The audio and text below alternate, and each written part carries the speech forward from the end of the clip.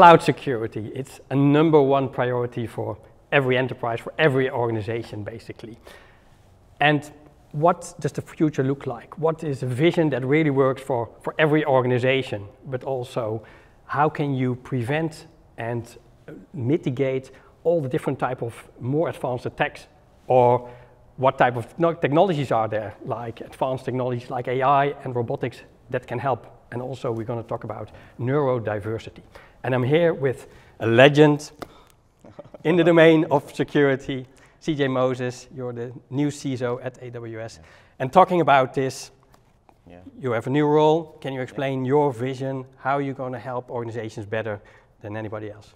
No, absolutely. So uh, at AWS, we've always been very customer focused um, and working backwards for the customer to be able to identify the things that they need. Maybe not exactly always what they want, but what they need in order to be able to be secure um, in, in the cloud environment. We've been working um, a lot over the years in various different technologies in order to be able to do so. I think the things that you're seeing today um, are uh, advancements that we started working on years ago. Um, the idea of being able to, uh, to create our own chipsets so that we can uh, enforce least privilege within our own cloud at the chip level, mm-hmm. such that I don't even have access to the data um, from a security perspective. That means that the uh, you know least privilege is enforced even for insider threat. Um, taking that out to a lot of the new threats that are out there, the more emerging types of things.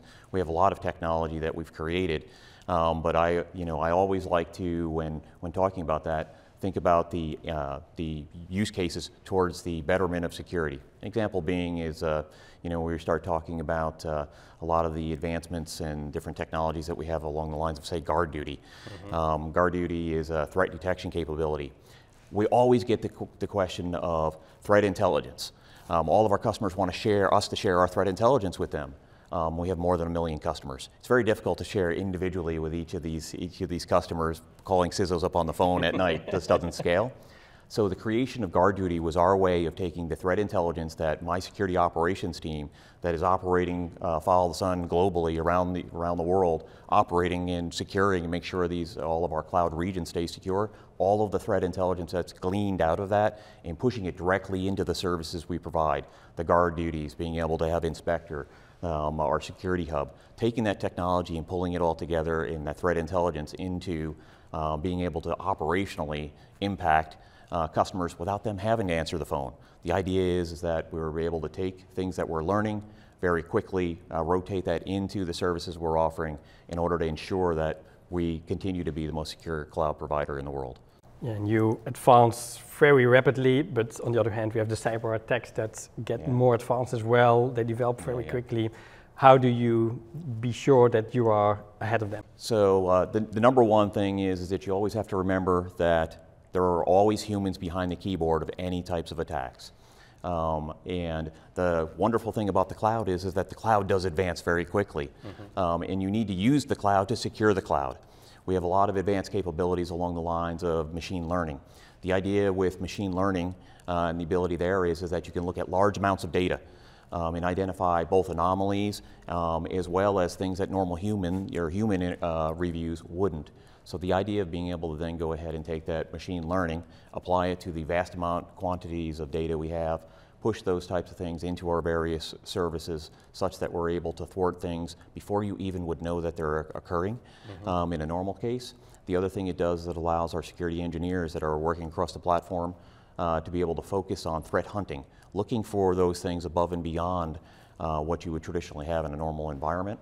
Um, this is one of the things that kind of differentiates us is that we do that in a model that's iterative um, and we continually are pushing uh, what we like to call pushing to, you know, uh, sliding left or moving left with a lot of the different capabilities, meaning that any of the types of threats we find, we want to be able to move as close to uh, the initiation of that attack or that, uh, that threat um, such that we're finding it as quickly as we can before it becomes an issue for any of our customers. And those are the techniques that we're, we're putting in, not only into our security services, but the actual services that customers are using, whether it's in EC2, whether it's in S3, whether it's in many of the other different uh, database services that we have. The idea of being able to shift left, be able to identify things before they become a problem, and making sure that our customers are, uh, um, are not impacted by the types of sophisticated threats that are out there they can rest assured that we're on top of it uh, and with uh, you know 25 plus years in the business of doing this and starting out chasing hackers around the world, uh, been there, done that, created this entire uh, the AWS infrastructure and the design of it uh, from ground up, building AWS, the infrastructure, the services, using the security culture that we have um, in order to ensure that going forward um, we're going to maintain uh, the, uh, the environment as the most secure uh, cloud provider in the world. Yeah, and you were talking about using machine learning, a yes. little bit more advanced technology like deep learning, like more so, yes. AI advancements, robotics. How yeah. can you use this type of disruptive technologies to better protect the enterprise? Yeah, the, the number one thing there is, is that, like I was saying, ML is great for looking at large data sets. Um, the last thing you want is security researchers or security engineers on your side um, to be mulling through a bunch of data that's low level that it's going to take hours and take millions of people. Uh, security engineers are hard to come by. You need to uh, need to be able to reinforce uh, um, the ability and using smart tools to be able to identify those things in order to get there uh, much sooner, so that they're only paying attention to the things that the system kind of brings to their attention, as well as then going and looking you know, um, at uh, a smaller set of subdata that they can uh, actually identify threats. Because a lot of times there's precursors to these sophisticated attacks that happen, mm-hmm. and you won't notice them. And if you don't notice them up front, you're going to have pay the price in the end. And that's where ML and AI are really good at identifying anomalies, taking those anomalies and then extrapolating and connecting the various different things that have happened. An example being reconnaissance that's done only piecemeal. And in our case, we're able to do this across the, across the globe. Mm-hmm. So if you're operating in many different regions around the world and we start to see indications of anomalies that align with each other, um, we, we, we call that, my old business, we call that a clue. And we take that clue and we actually, you know, extrapolate on it. And in many circumstances, what we've been able to do is put those things together to identify that there's a threat actor um, that's coming up with a new form of attack, taking that new form of attack and figuring out where they're going getting ahead of them such that we can disable their, their attack venue or their path before they ever get there. So these are the types of technologies combined, basically combining these advanced technologies with humans with high judgment and great capability um, in order to be able to, uh, to, to, do things that uh, previously would have been impossible to do. And the great thing with cloud security is if you detect one everybody's yeah, benefiting, and that makes Absolutely. it really, really, really. It's strong, it's yeah. a it's a, along the lines of a crowdsourced model yeah. because we're protecting the infrastructure and the services that that everyone on AWS uses. We see that big picture.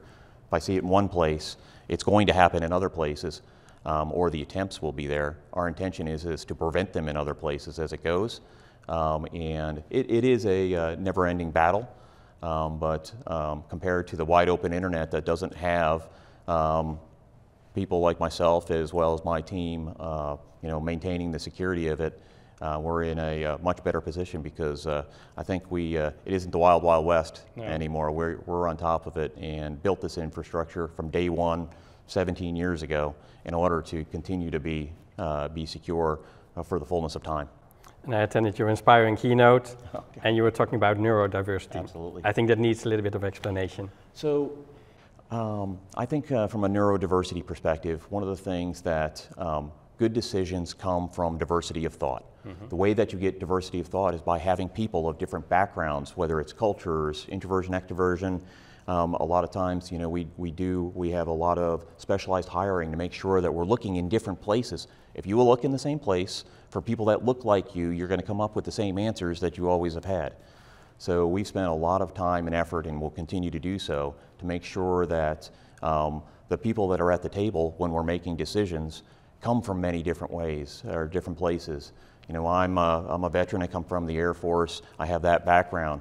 It's very different uh, sometimes. I look at things a, a, lot different than someone who hasn't been in the military, that's from a different country, um, and those, those thoughts are what we don't want people that are just going to say, yes, boss, we're going to do what you say.